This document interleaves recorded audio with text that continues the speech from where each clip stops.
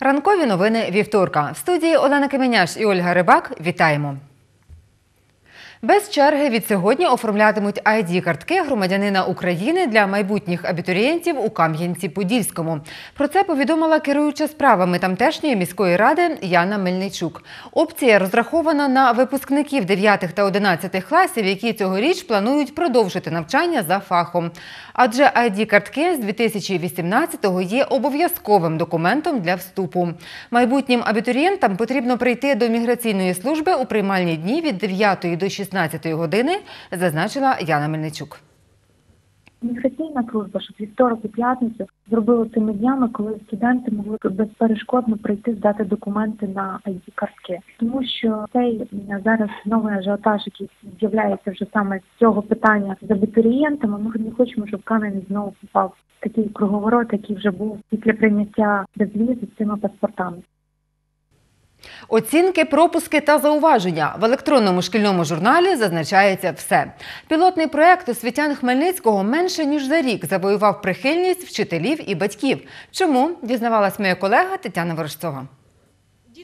У Тетяни Самсонюк дві дівчинки, молодша у другому класі, старша у восьмому. За допомогою електронного журналу мама дізнається про навчання старшої доньки, так як у молодших класах оцінки з'являються тільки з третього класу. Це в першу чергу йде як лишній раз спосіб переконатися в тому, що дитина не обманює, хоча в плані оцінок.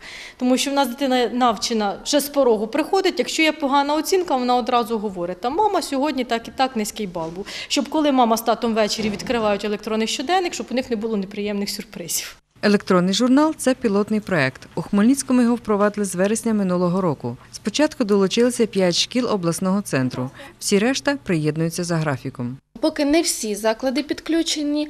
Е, Наразі в нас в електронному журналі 22 тисячі дітей зареєстровані, е, хоча е, учнів в нас на 10 тисяч більше. Позитивним є те, що цей електронний журнал він може його можна заповнювати на будь-яких гаджетах.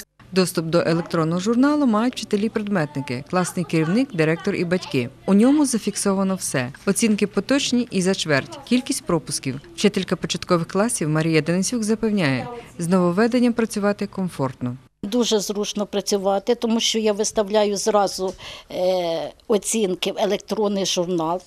Щоденник я не можу зразу виставити. Батьки тут же, навіть на роботі, можуть дізнатися про оцінку своєї дитини. Вони сидять ще на уроках, а мама вже знає оцінку своєї дитини. Вчителька географії Людмила Худецька зі своєю колегою погоджується. Каже, електронний журнал покращує взаємозв'язок вчителів із батьками, хоч і додає роботи. Батьки відразу в курсі е, справ, вони відразу бачать всі оцінки.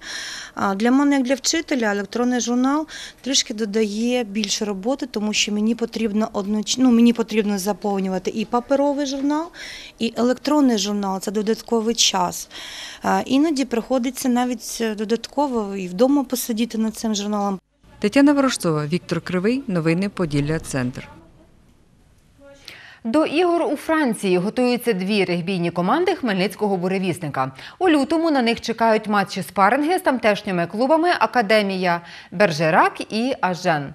Це буде другий міжнародний старт для хмельницьких регбістів у цьому році. Перший, нагадаю, відбувся в Ужгороді. Звідти наші команди повернулися з трьома перемогами. Як хмельничани готуються до змагань у Франції, бачила наша знімальна група. Гравці хмельницького буревісника відпрацьовують захвати зі спеціальним щитом. Така методика, за словами тренера гравців Олександра Мігунова, дозволяє уникнути травму під час тренувань у спортивній залі.